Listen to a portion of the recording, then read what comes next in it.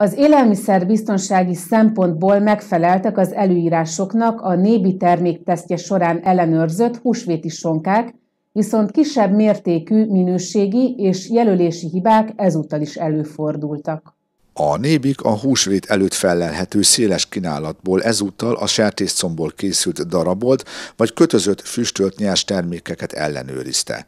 A termékteszt során összesen 19 előállító 22 terméke került a hatósági rostába, amelyek között 21 magyar és egy szlovák gyártású volt.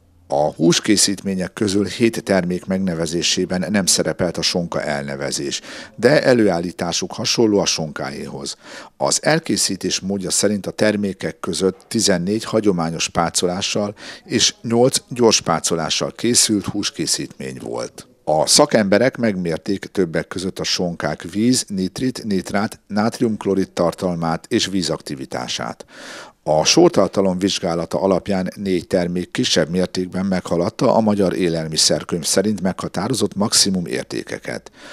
A nitrit tartalom egyiknél sem lépte túl a megengedett szintet. Két termék esetén a gyártók által megküldött receptúra alapján a gyártáskor hozzáadott nátriumnitrit mennyiség meghaladta a jogszabályban megengedett határértéket.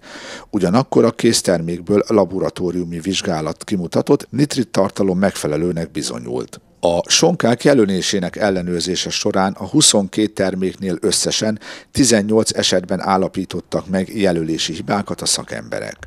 A vizsgálatok során tapasztalt hiányosságok miatt a nébik az érintett vállalkozásokkal szemben a jogsértés súlyosságának megfelelően jár el. A termékek szezonalitása miatt a nébik hatósági felügyelői négy kockázatbecslés alapján kiválasztott előállítónál üzemellenőrzést is tartottak, kiemelt figyelmet fordítva a higiénia megfelelésekre. Egy esetben tártak fel kisebb higiéniai problémát, amelyért a vállalkozót figyelmeztették.